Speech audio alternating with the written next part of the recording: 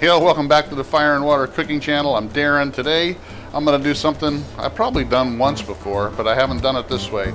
I'm gonna cook a whole chicken using the sous vide. We're gonna finish it up on the Kamado Joe with the rotisserie, but we're gonna measure the temp the whole time with my new MeatStick Wi-Fi. All right, I'll be right back. Smoking, grilling, getting hot and hotter. Sous vide and chilling from fire and water.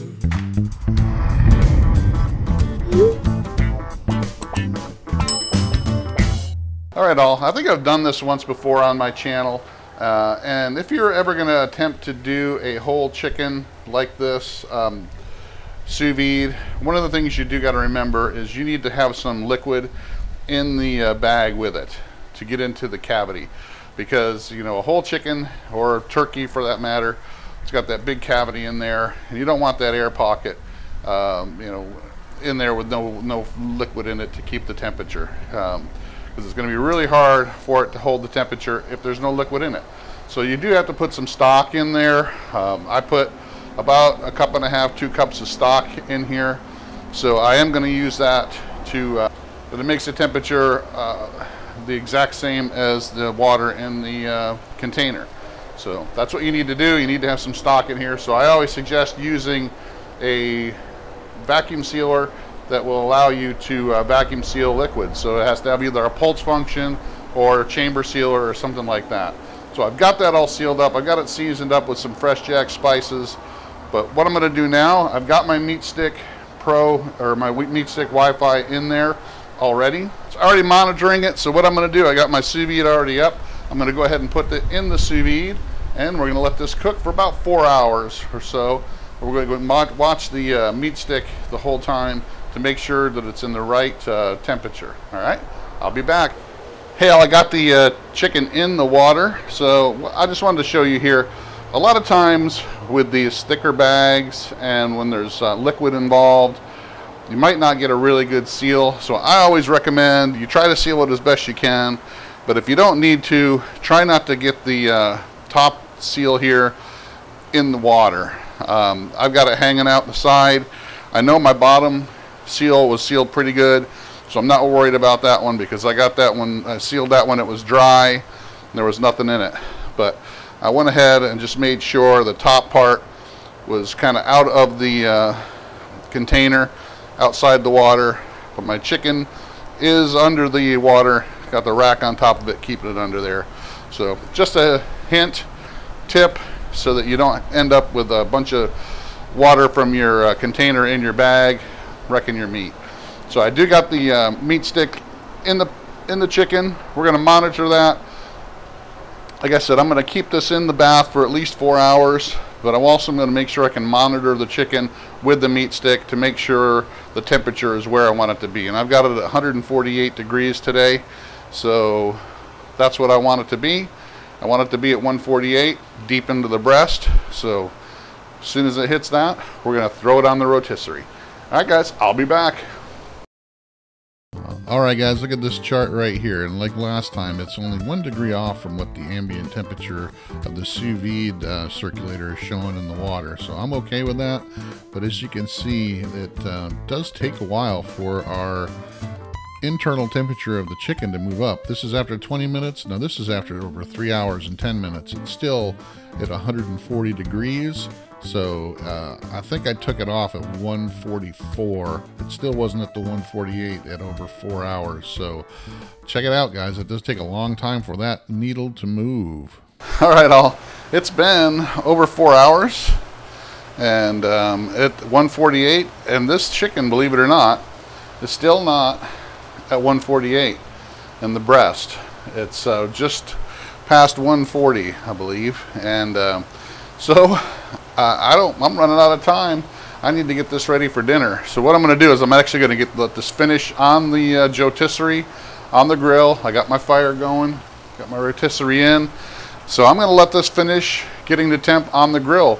The good thing about having the MeatStick in there is now I get to actually take my chicken from the uh, sous vide bath, leave the MeatStick in there, and put it right on the uh, rotisserie and let it uh, continue to cook, get some uh, color to the skin, continue to cook the internal temp until it gets right to the 148 that I want anyway. So I'm not going to lose anything. I'm going to get this out of the bag, get it on here, get it a little bit more seasoning, put it on the rotisserie. I'll be right back. All right, guys, I got it on my spit. I'm just going to put a little bit more of the FreshJax citrus pepper on both the front and the back. Not a ton. And a little bit of the rosemary lemon seasoned salt from FreshJax as well. Flip it over. Do the same thing on the breast side. Make sure I get the legs.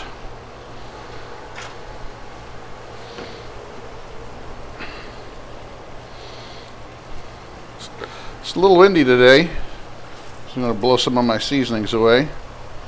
It's alright. FreshJax seasonings. Alright, that's it. I'm going to get it on the rotisserie and I'll see you back in a, probably an hour or so. I'll be back. Check it out, guys. Check out the, the uh, chart here, uh, right at four hours. You can tell where I put it on the uh, rotisserie to finish it up. And it's going to hit our our target temperature on the rotisserie while it's cooking. And I did let it go for a couple more minutes uh, to get over that. So I'll be back. Well, guys, take a look at that. It's just past the 148 that we were searching for on the uh, sous vide. So I'm gonna actually to let it sit on here a couple more minutes just to crispen that skin up a little more. Get a little bit more of that wood smoke to it. But as you can tell, it looks gorgeous. The MeatStick and the rotisserie did its job.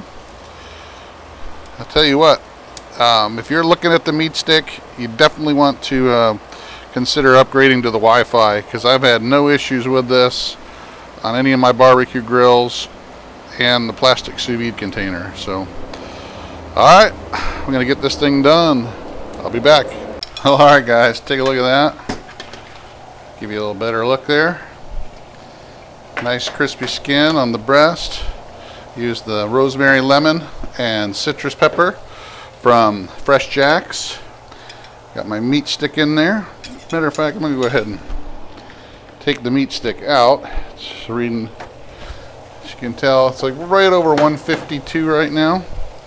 So, which is good for me. Put it right there because we do have to wash this thing after. So I'm going to go ahead and cut a piece right here from the breast so you can just see how juicy this is.